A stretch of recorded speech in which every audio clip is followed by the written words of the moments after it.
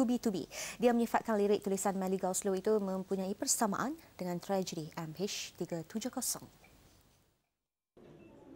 Lagu itu bakal dinyanyikan dalam persembahan Minggu Setiausaha di Pusat Konvensyen Antarabangsa Putrajaya pada 17 April.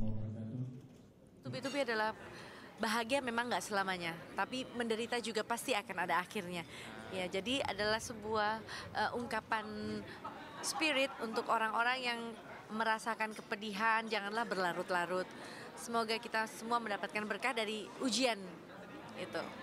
Karena saya sudah merasa jadi seperti seperti juga masyarakat di sini.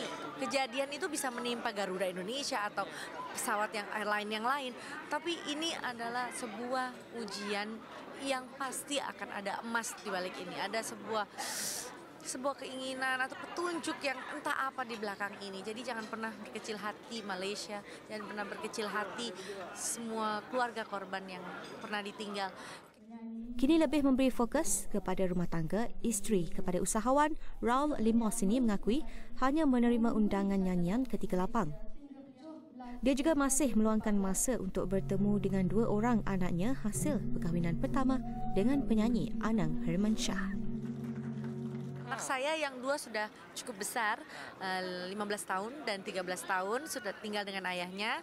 Eh, beberapa kali kami bertemu, uh, tapi anak-anak sekarang kesibukannya lebih senang sibuk dengan teman-teman kan. Jadi setelah sekolah mereka harus pulang, harus tambah pelajaran. On weekend mereka juga lebih senang pergi ke mall gitu. Jadi alhamdulillah kehadiran dua anak saya Amora Lemos dan Kellen Lemos dua setengah tahun dan satu tahun tiga bulan sebagai pengobat ya. Artinya saya diberikan kembali kesempatan yang luar biasa oleh Allah Subhanahu Wa Taala untuk merasakan kembali mendampingi suami menyusui anak mengantar mereka sekolah mengajarkan sebuah kebaikan bernyanyi bersama. Happy parenting itu kehidupan saya sekarang. Kali terakhir Chris mengadakan persembahan Minggu Setia Usaha ialah pada 2009 bersama Datuk Siti Nurhaliza.